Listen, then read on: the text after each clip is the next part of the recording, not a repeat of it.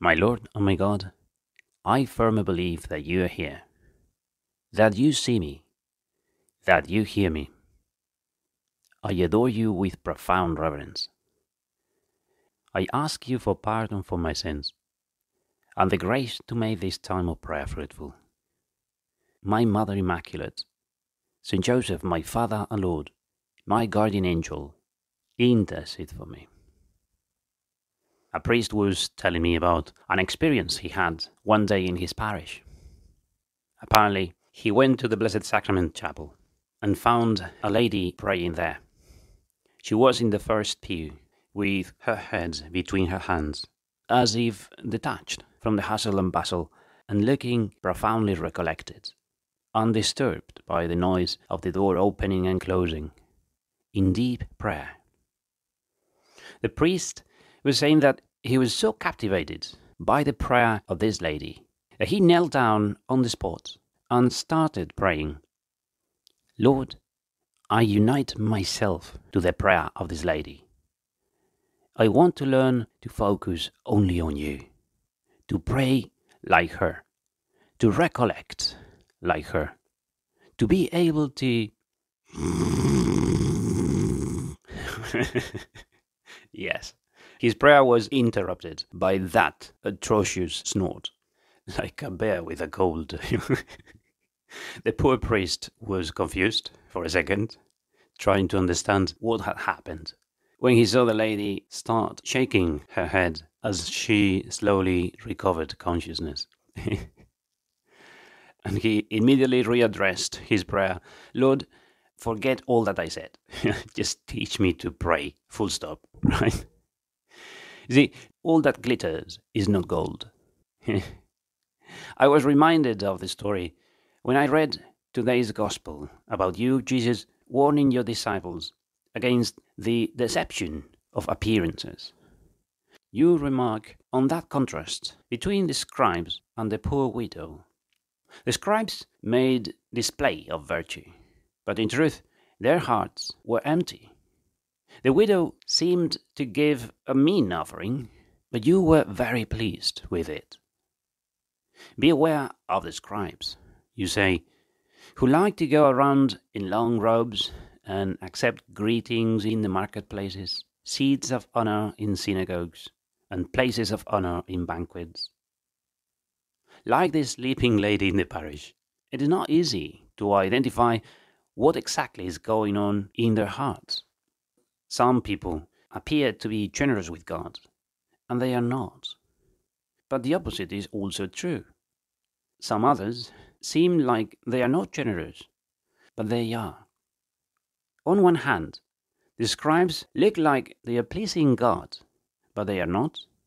On the other hand, that poor widow puts into the treasury two small coins, which don't look like a great offering, but indeed it is all that glitters is not gold, and all gold does not glitter.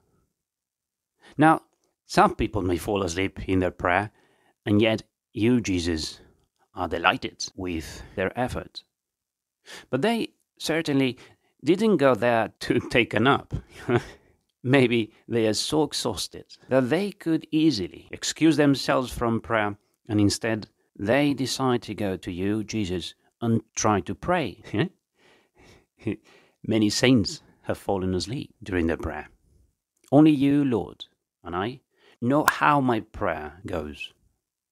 But just as the lady who seemed to be concentrated in prayer and was sleeping like a log, at times it also looks like I am praying, talking to you, Jesus, when in fact I am reading spiritual book in your presence or listening to a podcast. or talking to myself. And that alone is not prayer. To pray is to have a conversation with God, like I'm trying to do now with you, Jesus. It may not be words, it may be just my mind and my heart. But when I am in prayer, Jesus, I am not only in your presence, I am with you. A boy was asking me in school the other day, How do I know if I am talking to God or talking to myself? Easy, I said. It is all about grammar, Joe. See, if I say, I have had a long day today, I could be speaking to myself. But if I said, Joe, I have had a long day today, who do you think I'm talking to? Well, how do I know if I'm talking to you, Jesus? Well, because in this meditation, I have mentioned your name at least five or six times already. To pray is to talk to you, Jesus. Just reading the gospel or a text by a saint is not prayer unless I make use of it to talk to you. So, to listen to 10 minutes with Jesus is not necessarily prayer. It becomes prayer when you say to Jesus, That's right, Jesus, that happens to me. Or, Lord, I ask you for the same thing the priest is asking for. Or even when you say, Gosh, Jesus, this priest is boring me to death. Can you help him to learn how to preach? eh? I was reading yesterday the testimony of this chap called Francois Xavier, who was having a difficult life with drugs and alcohol. After fighting back suicidal thoughts for months, Francois decided to take his own life. He wrote a letter to his parents explaining everything. He stole their car and left. And during his runaway, he met a nun and decided to open his heart to her. He told her everything that was going on inside. And she listened, and when he had finished, she replied, Well, thank you very much for trusting me. But it is not me you should be telling all this to. Tell Jesus. She took him to a chapel where they were having adoration and said, There, tell him. So he tried and started talking to you, Jesus, saying, I don't know who you are. I don't know you. But let me tell you my story. And so he did. And everything changed after that. He reset his life and is now a happy Catholic man. Well, I would say the same. You who listen to these 10 minutes with Jesus, make sure that you talk to him. Otherwise, these would be 10 minutes with Father Spanish accent. and that is not prayer.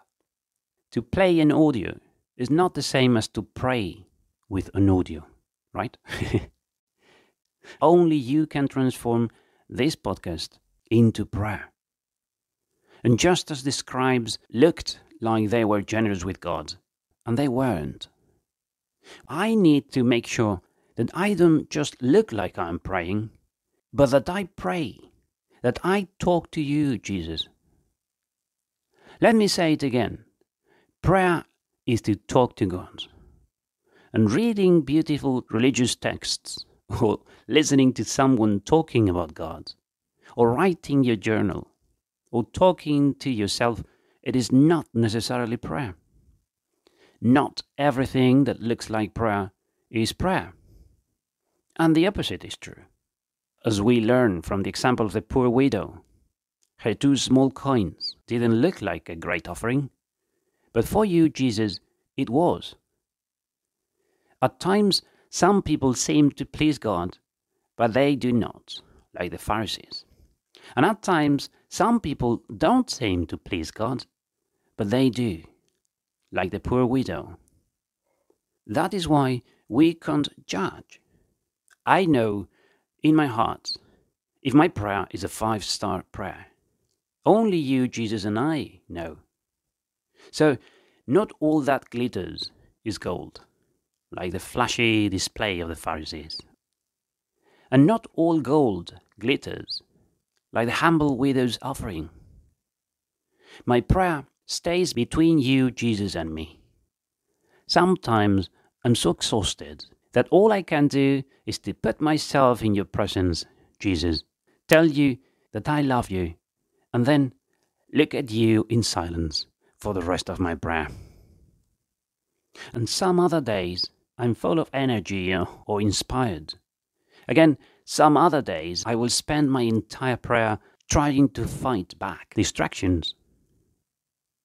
I don't know what people may think when they see me, and I don't care. I know when I am generous with you, Jesus. Mary, my Mother Immaculate, Saint Joseph, my Father and Lord, teach me to pray so that my prayer becomes a five star prayer, the one that God is expecting from me, pure gold, shining and glittering or hidden and dull, as He wishes.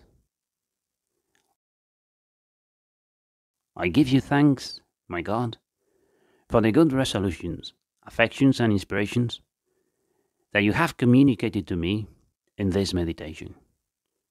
I ask you for help to put them into effect. My Mother Immaculate, Saint Joseph, my Father and Lord, my guardian angel, intercede for me.